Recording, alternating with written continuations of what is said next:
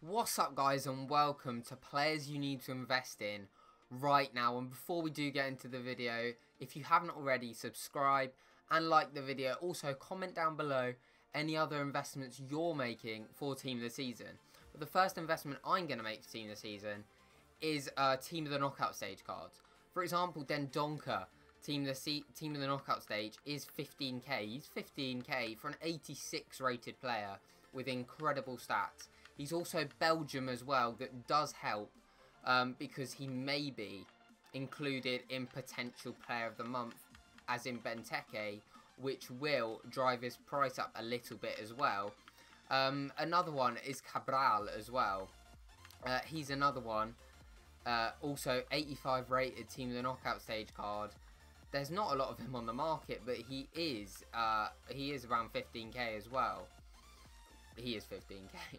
And the last one is Hugo Mallo as well. And uh, again, 15k for this card. It's not even a bad, bad card. Um, and again, he's 15k as well. Um, and these might be good, as you can see with the Kante, these might be good for like a full inform or a full special team in the future for Team of the Season SBCs.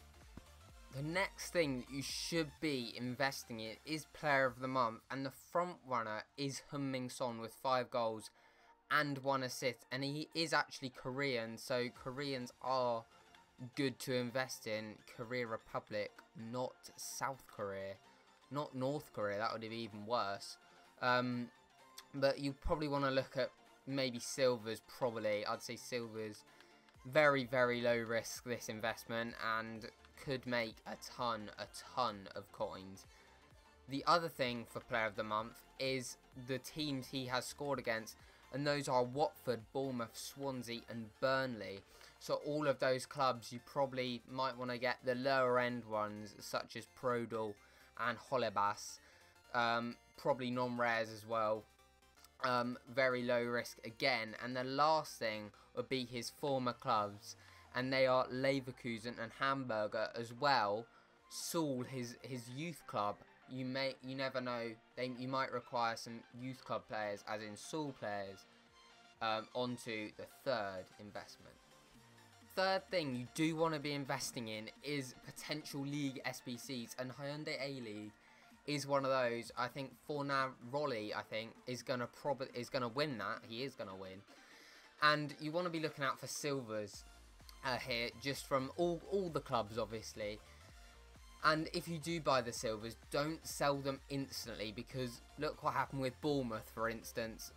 But Cargill and uh, who's the other one? Steve Cook went up sort of 20, 21k, and a week ago you could sell them for 5k, and you could buy them for 5k. So that dramatically rose the price. And silvers don't go down, but they can go up.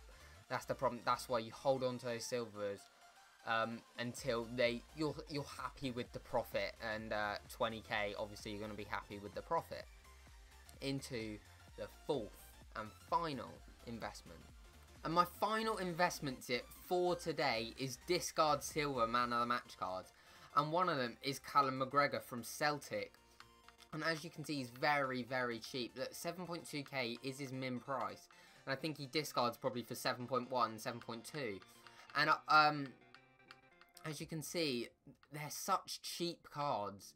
And 7.8 is the cheapest I've seen. And you think about, you're going to lose max 500 coins. Max 500 coins, you can buy like 10 of these and max lose uh, 5k coins. That's not a lot of coins if you've got a lot of coins already, that is.